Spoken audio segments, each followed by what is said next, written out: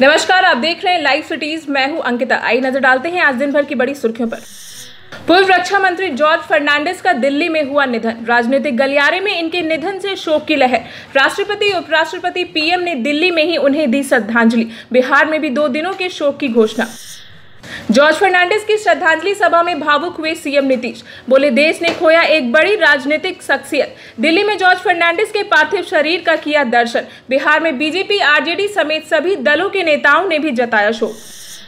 पूर्व आरजेडी सांसद साहबुद्दीन की बड़ी मुश्किलें। पत्रकार राजदेव हत्याकांड में साहबुद्दीन पर आरोप तय। साहबुद्दीन समेत आठ अन्य आरोपियों के खिलाफ भी आरोप तय। दिल्ली के तिहाड़ जेल से वीडियो कॉन्फ्रेंसिंग के ज़रिए हुई पेशी।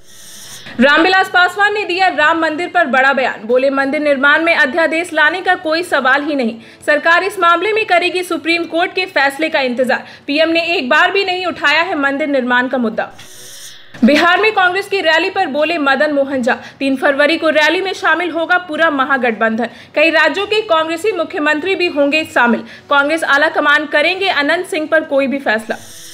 पीएम नरेंद्र मोदी ने देश भर के स्कूली बच्चों से किया संवाद। परीक्षाओं को लेकर दिल्ली में छात्रों से की चर्चा। एग्ज़ाम को लेकर छात्रों की परेशानी पर पीएम ने की बात। पटना समेत सूबे के कई स्कूलों में किया गया लाइव टेलीकास्ट। पटना में पप्पू यादव का आपका सेवक आपके द्वार कार्यक्रम। एनएमसीएच पहुंचकर सुनी, वहाँ इलाज कराने आए मरीजों की समस्या। अस्पताल की कुव्यवस्था देखकर डॉक्टरों पर जमकर बरसे। कहा, बंद कर देना चाहिए बिना सुविधा वाले ऐसे अस्पताल। बिहार के शिक्षा मंत्री कृष्णनंदन वर्मा फरियादियों से परेशान। अपने आवास के बाहर लगाया नो एंट्री का बोर्ड। लिखा, स्कूलों में एडमिशन के लिए पत्र मांग कर ना करें शर्मिंदा। बिना अनुमति किसी को अंदर नहीं जाने की दी सख्त हिदायत। पटना में राहुल गांधी का दिखा राम अवतार रूप। कांग्रेस के पोस्टरों में दर्शाई गई है तस्वीर। लिखा, वे राम नाम जपते रहे, तुम राम बनकर जियो रे। तीन फरवरी को जन आकांक्षा रैली की तैयारी में है कांग्रेस।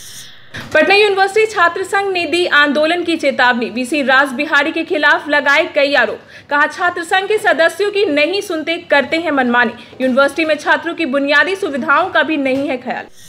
तो ये थी आज दिन भर की बड़ी सुर्खियाँ। आप बने रहिए लाइव सिटीज़ के साथ। नमस्कार।